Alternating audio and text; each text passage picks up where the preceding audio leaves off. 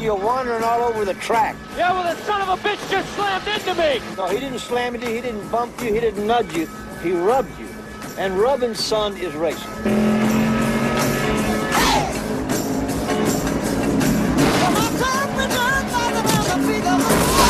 Welkom alweer bij de vijfde race van deze zomercompetitie. De top 3 is Wouter, Marcel en Chris. En we zijn van start met Wouter op pole position. Naar de eerste bocht. De Senna Esses. En eens even kijken of iedereen daar veilig doorheen komt zonder brokken.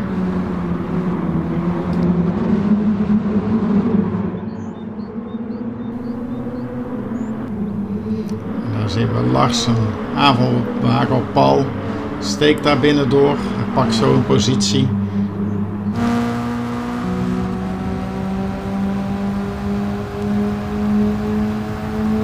Gaan we bij Paul. Dan zien we Lars een aanvalwagen op Ferry. Paul heeft daar een heel licht contact bij Ferry. Ferry gaat er iets te snel op het gas daar op de curb. Maar Ferry houdt hem nog wel netjes en sluit meteen weer aan op de achtste plaats.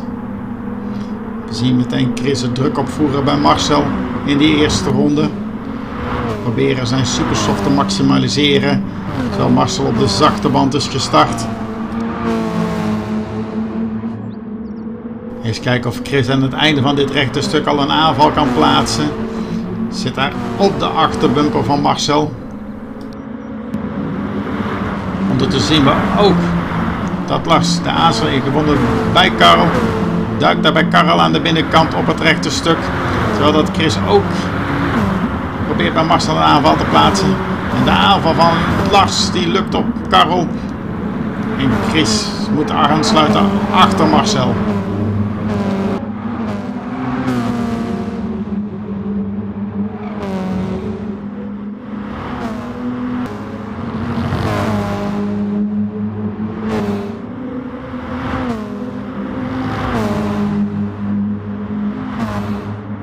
Chris probeert er dan buitenom, maar Marcel wil daar niks van weten. Chris kijkt of hij terug kan kruisen. Nee, dat gaat net niet lukken. Moet toch weer aansluiten. Maar Marcel remt daar iets te diep in. Gaat hij hier een positie verliezen? Nee, hij houdt hier mooi netjes de binnenkant en Chris is nog steeds niet voorbij. Zijn we aan boord bij Lars. Maakt er een heel klein uitstapje. Controleert gelukkig nog goed. En Karel tikt er nog iets aan, maar beide rijders kunnen hun race vervolgen. Aan het einde van ronde 2 gaat Chris weer een aanval plaatsen bij Marcel. Zit nu wel aan de binnenkant. Neemt meer snelheid mee het rechte stuk op. Je ziet er zo voor al de start-finish is je er al voorbij. Eens even kijken of Marcel nog een aanval terug kan plaatsen. Lijkt in die eerste bocht op weg naar de Senna Esses.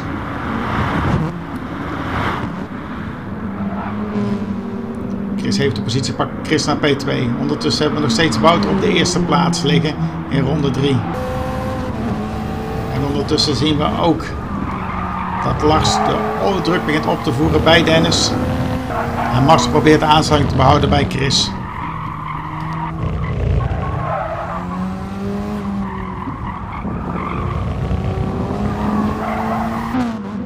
Aan het einde van ronde 5 heeft lastig echt volledig de druk bij Dennis erop staan.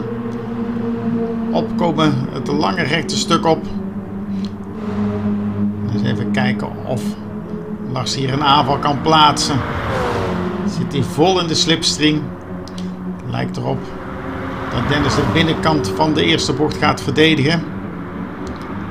Lars weer de buitenkant. Remt diep in. Komt dan hier aan de binnenkant te zitten. En zo verliest Dennis een kleine positie aan Lars.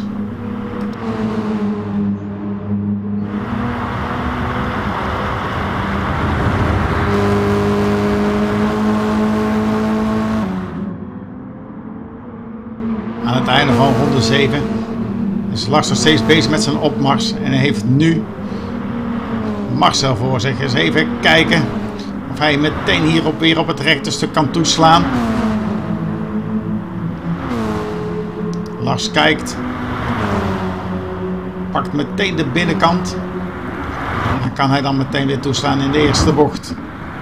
Het ziet er wel naar uit dat hij er al voorbij is voor de eerste bocht. En Lars heeft alweer een positie gewonnen. Lars naar P3, Marcel naar P4. Aan het einde van ronde 8 op weg naar ronde 9 zien we Wouter aan de leiding. Daarachter Chris. Daarachter Lars. Dan Marcel. Dan Dennis. Karel. Paul. En Ferry.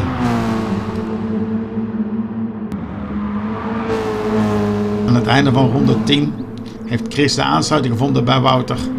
Dan gaan ze vechten voor de leiding in deze wedstrijd. Chris zal haast moeten maken. Want Lars achter hem is op oorlogspad. En heeft het tempo er goed in zitten. Even kijken of Chris hier al de aanval kan plaatsen in die eerste bocht.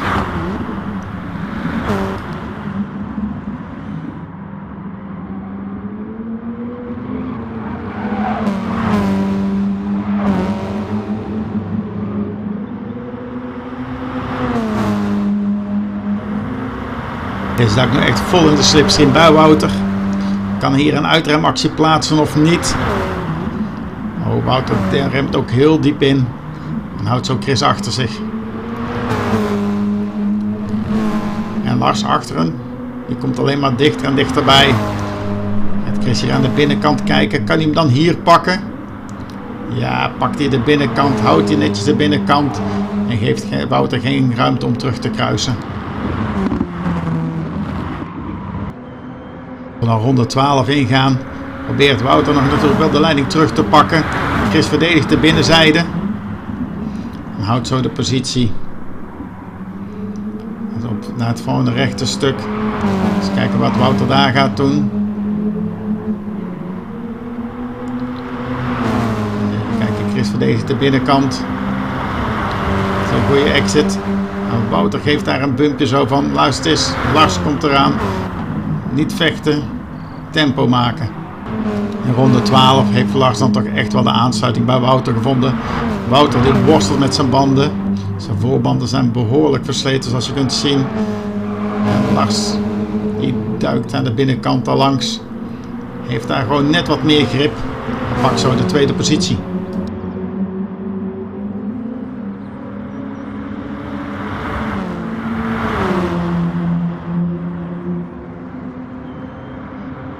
Dus ik heeft Wouters is nog niet zo snel gewonnen.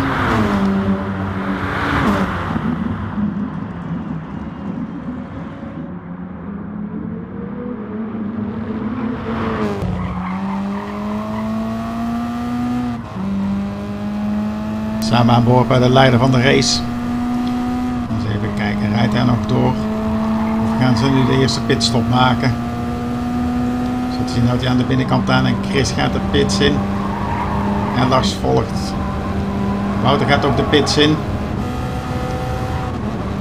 Ook Marcel duikt de pits in. Zowel Dennis. Dan gaan we aan boord bij Paul. Die gestart op de normale band. Kijken of deze ook de pits in duikt. Nee, Paul rijdt nog eventjes door. Even kijken, ook Ferry duikt de pits in. En Karel is al op het geweest. Oké, komen de virtueel de leider en de tweede positie komen daar de pits uit. En we zien inderdaad dat Lars behoorlijk de aansluiting heeft gevonden bij Chris. Dus even kijken wat hij kan gaan doen.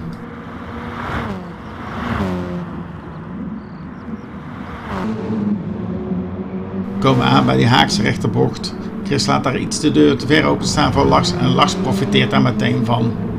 Chris probeert nog wel aan de volgende bocht de binnenkant te houden. Lars neemt gewoon veel meer snelheid mee. En heeft zo hier Chris te pakken. In ronde 16 hebben we dan Paul aan de leiding. Daarachter Lars. Dan Chris. Dan Wouter. Marcel. En Dennis kort achter Marcel. Dan Karel. En dan Ferry.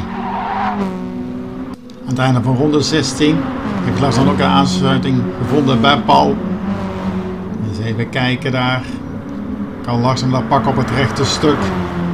Nee, zo te zien buigt Paul af, gaat de pits in. Zo krijgt Lars weer de eerste positie. zijn we ronde 17. Probeert Wouter de aansluiting te vinden bij Chris voor positie nummer 2. Maar ook Dennis heeft de aansluiting gevonden. Uh, Marcel op P4.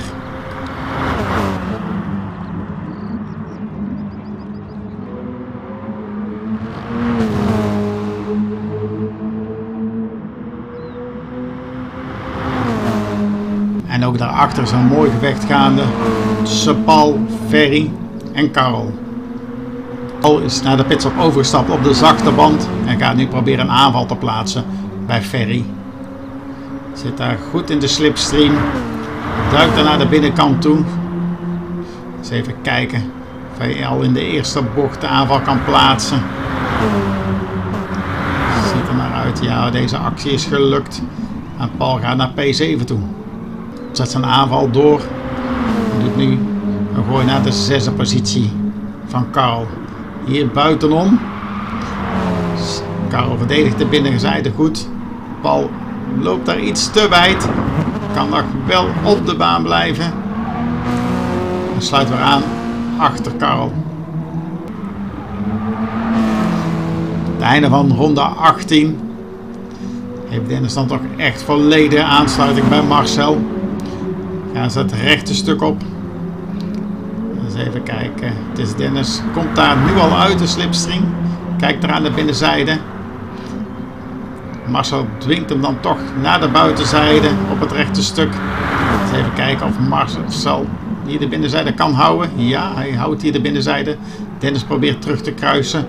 Maar Marcel houdt weer de binnenkant voor de volgende bocht. En zo moet Dennis weer opnieuw gaan proberen. En ook Paul gaat in zijn aanval plaatsen bij Karel bij het opkomen van het rechte stuk. Gaan we eens even kijken. Ja, hier duikt Paul al goed aan de binnenzijde. Zodat hij in bocht 1 goed gepositioneerd zit. Voor het aanremmen van de eerste bocht zit Paul al voorbij Karel. En kan zo een positie winnen. En Dennis probeert nog steeds voorbij Marcel te komen. Op jacht naar de vierde positie. Eens even kijken of het nu wel beter gaat. Ja, nu heeft Dennis wel die binnenzijde. Marcel zit hier wel aan de buitenkant, maar probeert meteen terug te kruisen. Probeert de slipstream weer van Dennis te pakken om te kijken voor bocht 1. Ah, Dennis is er gewoon goed voorbij. Remt hier laat in. Geeft Marcel geen kans om de positie terug te pakken. En zo hebben we Dennis naar P4. De eerste positie natuurlijk nog steeds onze leider Lars. Daarachter Chris. Met daar kort daarachter Wouter. Dan Dennis. Dan Marcel. Paul. En daarachter het gevecht tussen Karl en Ferry. Oh, en Karl gaat daar iets te wijd over het gas heen. En Ferry profiteert daar meteen van. Ook Wouter zit nog steeds op de staart bij Chris. Maar die zijn voorbanden hebben toch echt wel het beste gehad die van Wouter. Achteraf leek Wouter een probleem te hebben met de rembalans. Die stond iets te ver naar voren waardoor het zijn banden te snel eraan gingen.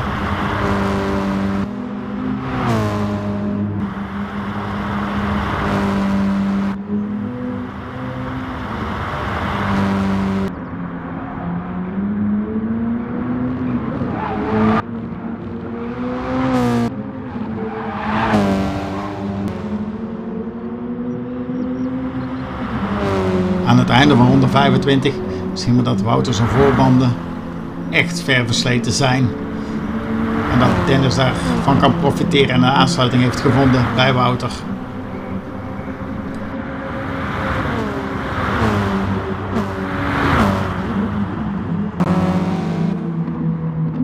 In ronde 26 ziet Dennis dat echt het podium binnen bereik is.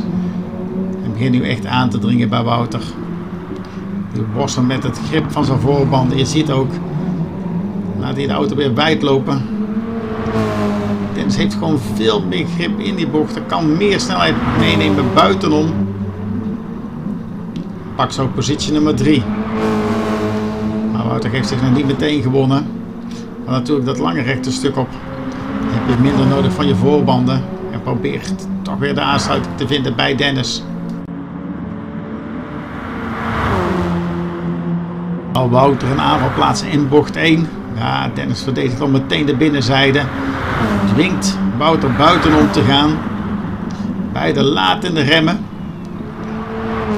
Wouter neemt veel snelheid mee, maar zit dan in de volgende bocht goed aan de binnenzijde. En het is toch weer Dennis terug naar P4 toe. En Wouter terug naar P3. Maar we zien hier weer inderdaad, Dennis heeft gewoon echt veel meer grip. Wouter worstelt zeer erg met zijn voorbanden, maar toch gaat deze positie met hand en tand verdedigen nog. Ook in deze bocht. Wouter kan gewoon niet meer de binnenzijde van de bocht verdedigen. En Dennis pakt daar weer P3 eventjes. Hoe lang zal het zijn? Nee, hij heeft hem nu echt wel te pakken. En er komen technische gedeelten in. En daar worstelt Wouter toch net te veel om de aansluiting te blijven behouden.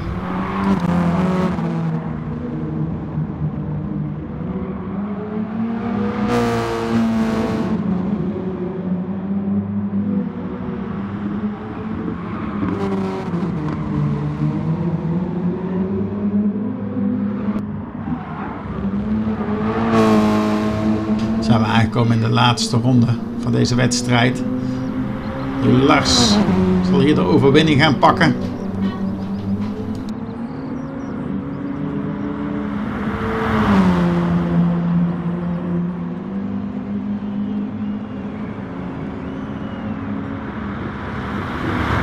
En Chris pakt P2. En dan gaan we kijken voor de laatste podiumplek. Oh, Dennis heeft nog een kleine penalty. Deze had hij toch echt kwijt moeten raken. Ja, dat lukt hem nog net. En blijft nog net Wouter voor. Die op P4 binnenkomt. P5 wordt Marcel. De zesde plaats is voor Paul.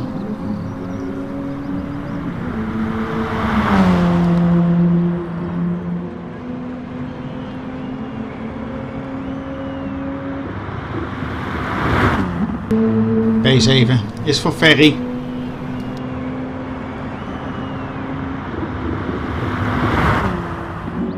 En P8 voor Karel. Het was weer een mooie wedstrijd. Iedereen bedankt voor het kijken. Tot race 6.